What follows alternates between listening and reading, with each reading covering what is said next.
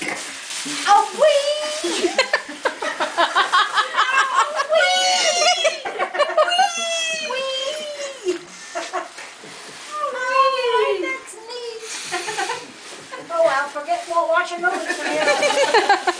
You're gonna be bowling. Came like two days after Christmas, and I was like, ah!